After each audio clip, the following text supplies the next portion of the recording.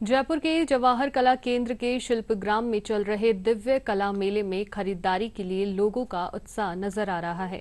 केंद्रीय सामाजिक न्याय और अधिकारिता मंत्रालय द्वारा दिव्यांगजन सशक्तिकरण विभाग के सहयोग से आयोजित इस मेले में दिव्यांगजनों द्वारा प्रदर्शित किए गए उत्पादों को प्रदर्शित किया गया है।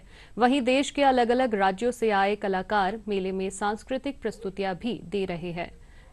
पाँच जुलाई तक चलने वाले इस मेले में कुल सौ स्टॉल्स लगाई गई हैं, जिसमें देश के अलग अलग राज्यों के दिव्यांगजनों के द्वारा तैयार किए गए उत्पादों को प्रदर्शित किया गया है।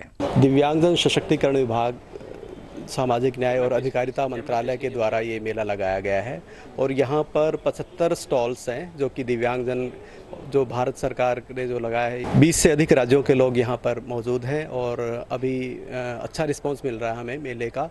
यहाँ पर होम डेकोरेशन के प्रोडक्ट्स हैं, कपड़े के हैं जो हैंडीक्राफ्ट के आइटम हैं मतलब अलग अलग वैरायटी के प्रोडक्ट हैं और पूर्वोत्तर राज्यों के प्रोडक्ट हैं मतलब देश के हर क्षेत्र के प्रोडक्ट यहाँ पर अवेलेबल हैं। मेले में दिव्यांगों द्वारा तैयार किए गए उत्पादों की लोग खरीदारी कर रहे हैं। मेले में अच्छी बिक्री से दिव्यांग उद्यमी भी उत्साहित नज़र आ रहे हैं।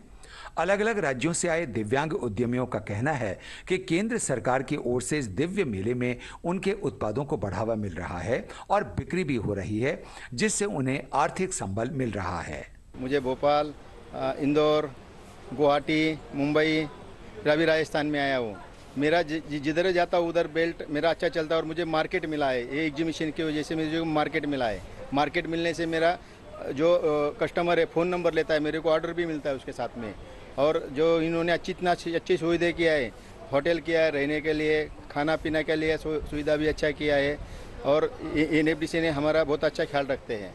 और हमको मोदी सरकार ने भी अच्छा सपोर्ट किया है, जो उन्होंने हमको घर के जैसे रखा है इधर। मोदी सरकार और हमारे समाज कल्याण मंत्रालय का जो प्रयास है, ये बहुत प्रशंसनीय प्रयास है, जिसके अंतर्गत दिव्यांगजन जो कलाकार हैं, जो भी वो प्रोडक्ट्स बनाते हैं, उनके लिए एक प्लेस प्लेसमेंट है कि वो अपने पूरे हिंदुस्तान में अपनी कला का भी प्रदर्शन करें और उससे अपनी रोजी रोटी का भी इंतज़ाम करें।